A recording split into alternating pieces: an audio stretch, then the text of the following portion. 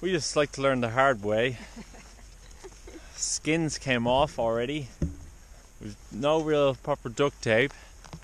And uh, we're heading all the way over there.